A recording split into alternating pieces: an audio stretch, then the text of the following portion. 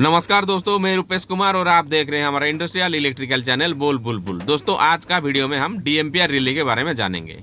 DMPR relay लगाने से क्या फ़ायदा मिलता है? डीएमपीआर रिले में हमको क्या क्या प्रोटेक्शन मिलता है? डीएमपीआर रिले का सेटिंग कैसे करते हैं? कितना टाइम पर ये ऑपरेट करता है? और कौन सा फॉल्ट आए? तो आपको कैसे पता चलता है? फिर आपको कैसे ट्रबल शूट करना है दोस्तों? तो वीडियो को अंत तक ज़रूर देखें दोस्तों। आपको काफ़ी कुछ नॉलेज मिलेगा। और हाँ दोस्तों, अगर आपने हमारा चैनल को सब्सक्राइब नहीं किए हैं तो चैनल को सब्सक्राइब कर दे और साथ ही साथ बेल आइकन को प्रेस कर दे ताकि मैं आगे जितना सारा वीडियो लाऊं, वो वीडियो अब तक तो डायरेक्ट पहुँच जाए दोस्तों। तो चलिए दोस्तों, शुरू करते हैं आज का वीडियो डीएमपीआर रिले के बारे में। डी यानी दोस्तों, डिजिटल मोटर प्रोटेक्शन रिले। या तो आप उसे इंटेलिजेंट मोटर प्रोटेक्शन रिले भी बोल सकते हैं। सबसे पहले जान लेते हैं दोस्तों, डीएमपीआर रिले मोटर को क्या क्या प्रोटेक्शन देता है। इसका नाम मोटर प्रोटेक्शन रिले है दोस्तों, यानी ये मोटर को प्रोटेक्शन देगा। तो क्या क्या प्रोटेक्शन मिलता है? सबसे पहले ओवरलोड प्रोटेक्शन होगा, अंडर करेंट या अंडर लोड, उसमें भी ये प्रोटेक्शन देगा, फ़ेज़ ऑन बैलेंस में प्रोटेक्शन देगा, स्टॉलिंग प्रोटेक्शन देगा, लॉक रोटर प्रोटेक्शन देगा, फ़ेज़ फेलियर में प्रोटेक्शन देगा, और साथ ही साथ ग्राउंड फॉल्ट में भी प्रोटेक्शन देगा। तो दोस्तों, ओवरलोड क्या है? जैसे आप बीएमआर लगाते हैं, बायोमेटालिक रिले उसमें क्या होता है, मान लीजिए एक मोटर है जिसका फुल लोड करंट 100 एम्पियर है। यानी 100 एम्पियर आप सेट करते हैं फुल लोड करंट के हिसाब से आप 100 एम्पियर सेट करते हैं। और जब भी मोटर 100 एम्पियर से ज़्यादा करंट लेता है तो उस टाइम मोटर ट्रिप कर जाता है। ये रिले ट्रिप कर जाता है। तो same overload protection DMPR relay में भी है। डीएमपीआर रिले को आप फुल लोड करंट के हिसाब से सेट करेंगे। और फिर जब ये उससे ज़्यादा करंट लेगा, उसी सेट वैल्यू से ज़्यादा करंट लेगा तो ये B M R relay trip करेगा। अंडर करंट अंडर करंट क्या है दोस्तों? मान लीजिए मोटर गियरबॉक्स के साथ डीकपल हो गया तो उस टाइम क्या होता है? नॉर्मल करंट से और करंट कम हो जाता है। तो उसी कंडीशन को हम बोलेंगे अंडर करंट या अंडर लोड कंडीशन उसी कंडीशन में भी ये रिले ट्रिप करेगा। अगर ये सेटिंग हम करेंगे तो उसी कंडीशन में ये रिले ट्रिप करेगा। Phase unbalance phase on balance यानी, जैसे कि आर वाई बी तीनों फ़ेज़ है, तीनों फ़ेज़ में बैलेंस करेंट जाना चाहिए। मान लीजिए तीनों फ़ेज़ में से दो फ़ेज़ में, या आप बोल सकते हैं तीनों के तीनों फ़ेज़ में करेंट बैलेंस करेंट नहीं ले रहा है। बैलेंस करेंट क्यों नहीं लेगा? हो सकता है कहीं पे कुछ लूज हो गया होगा। हो सकता है मोटर का टीबी में कुछ लूज होगा। पावर सर्किट में कहीं पे कुछ लूज होगा। तो एक फ़ेज़ में ज़्यादा करंट लेगा, बाकी फ़ेज़ में कम करंट लेगा। तो उसी कंडीशन को हम बोलेंगे फ़ेज़ ऑन बैलेंस तो अगर इसी कंडीशन आ जाए तो भी ये रिले ट्रिप करेगा दोस्तों।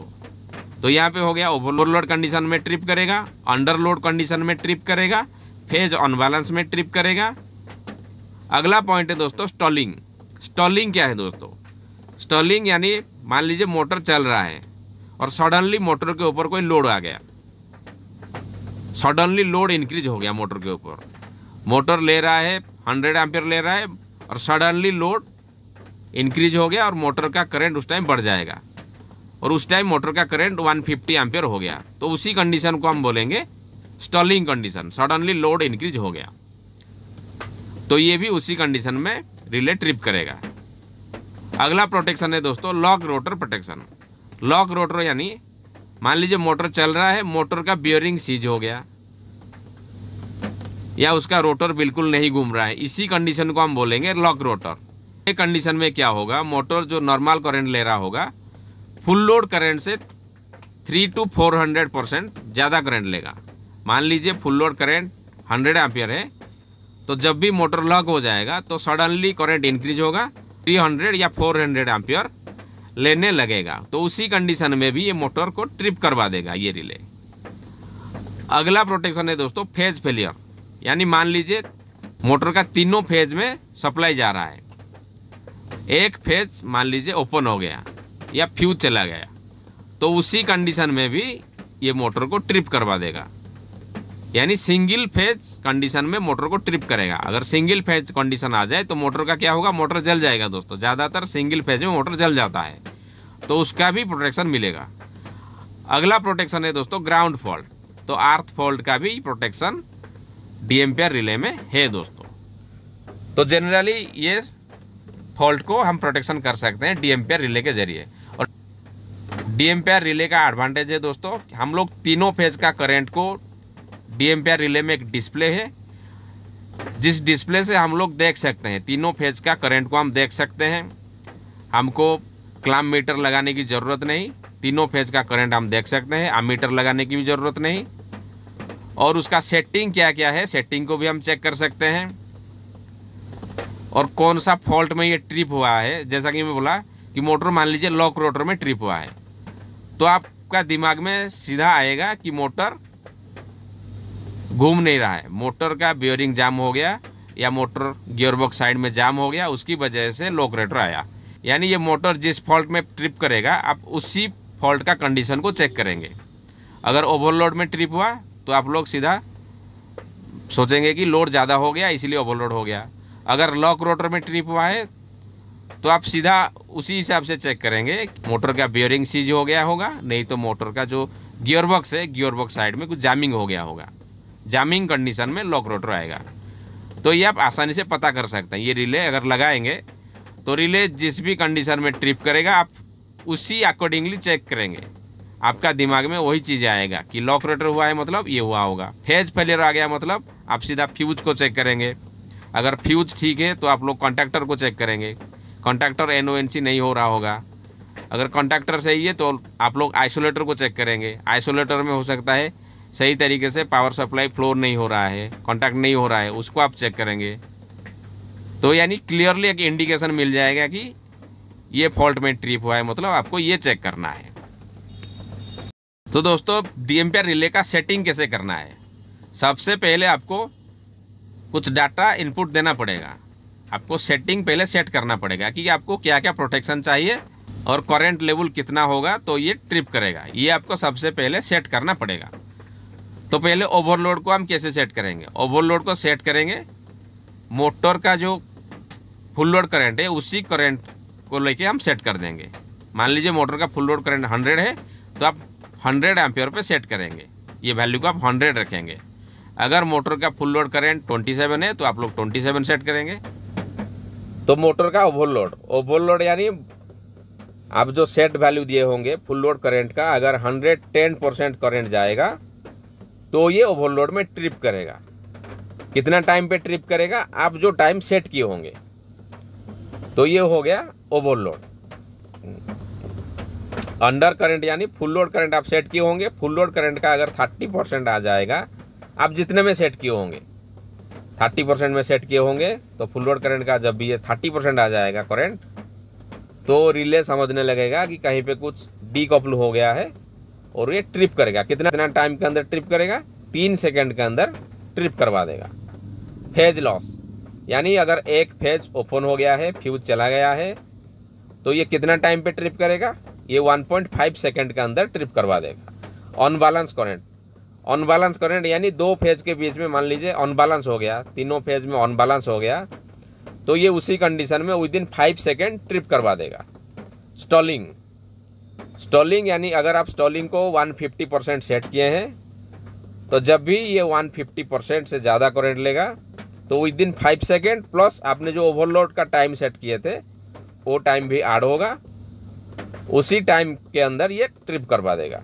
यानी विद इन फाइव सेकेंड और आपने जो ओवरलोड टाइम सेट किया होगा, वो दोनों को काउंट करेगा। लॉक रोटर, सिमिलरली आप लॉक रोटर का जितना एम्पियर सेट किए होंगे उसी एम्पियर आ जाएगा तो ये within point five second plus आपने जो ओवरलोड टाइम सेट किया होगा, उसी टाइम के अंदर ये ट्रिप करेगा।